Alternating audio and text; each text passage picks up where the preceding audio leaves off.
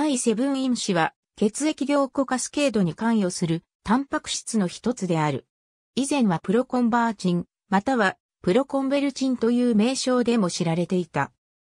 第セブン因子は酵素線具体として産生され、プロテアーゼによって活性化されて、活性型第セブン因子となる。セリンプロテアーゼに分類される酵素である。組み換えヒトダイビアイア因子、小表明のボセブンは、血友病患者の出血性病態に対する治療として承認されている。第セブン因子の主要な役割は、組織因子と共に凝結過程を開始することである。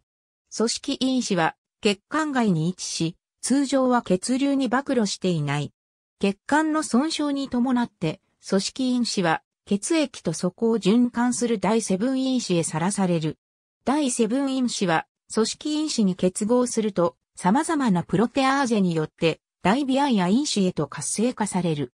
活性化を行うプロテアーゼにはトロンビン、大サ因子、大イクサ因子、大シア因子があり、そして組織因子大ビアイア因子、複合体自身によっても活性化される。組織因子大ビアイア因子複合体は、第9因子と第 X 因子の活性化型プロテアーゼへの転換を触媒する。第7因子の作用は、凝結開始の直後に放出される、組織因子経路インヒビターによって阻害される。第7因子は、ビタミン系依存的因子であり、肝臓で産生される。第7因子は第9因子、第 X 因子と共通のドメイン構造を有している。第7因子の遺伝子は13番染色体に一致する。第7因子欠乏症は劣性遺伝する希少疾患であり、血友病に似た出血障害が現れる。組み換え大ビアや因子製剤を用いて治療が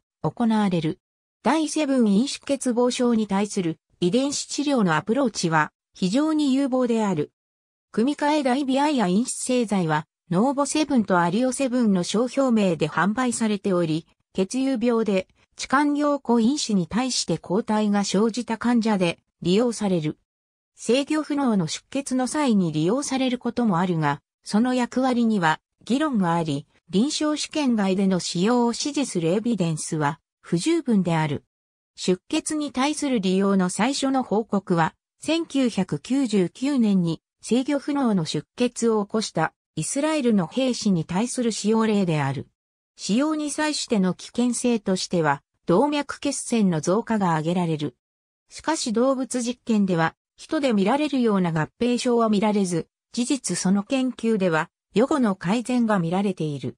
軍事医療においては、戦痛性外傷による出血と関係した波種性血管内凝固症候群に関連する合併症に対し適用外での利用が行われている。